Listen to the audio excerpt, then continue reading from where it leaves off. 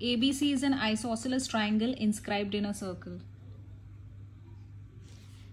where AB equal to AC both are equal to 12 root 5 12 root 5 BC is equal to 24 centimeter. We need to find out the radius. So I have assumed let us suppose O is the center of the circle. And um, if O is the center then OA OC OB whatever you draw from the center to meet the circumference that will be the radius right? So OA OB OC I have joined all of them it is the radius. And also I have joined it till a perpendicular also. Like OA draw perpendicular. AD is also the perpendicular.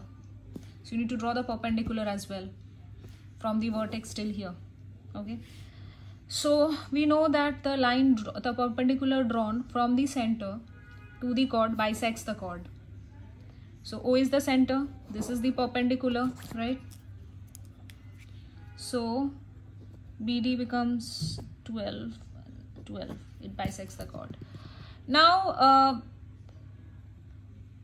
this ab is 12 root 5 if you only see the triangle abd it is a right angle triangle because AD is perpendicular on this line. So if you see the triangle ABD, AB is the hypotenuse because it is the side opposite to 90 degree.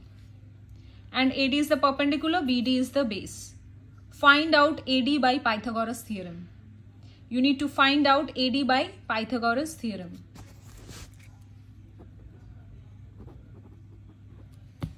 Once you find AD, you we have already assumed the radius to be x. And once you have the full value of AD, whatever value of AD you will get, OD will be how much? AD minus OA. This whole thing is AD, right? And this is O. I'll, I'll just draw this line just to explain you. This part is X, right? So how will you get OD? If you subtract OA from AD, then only you will get OD. So that's why AD minus OA is equal to OD, isn't it?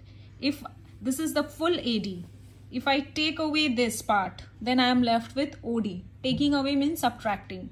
So AD minus OA, a minus means taking away, will give us OD. Now AD's value you will already get in terms of numerical know, after you solve it and OA you have already we have assumed as X.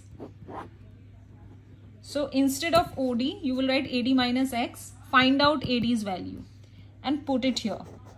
So now you have something minus X which you will find out something minus X is the value of OD and then it is uh, 12 and then again this is X and again by Pythagoras theorem, OB is also the hypotenuse because it is the side opposite to 90 degrees. So x square will be equal to 12 square plus again OD is AD minus x whole square and AD is numerical value you will get. So A minus B whole square formula you will have to apply. Okay. And then you will solve for x.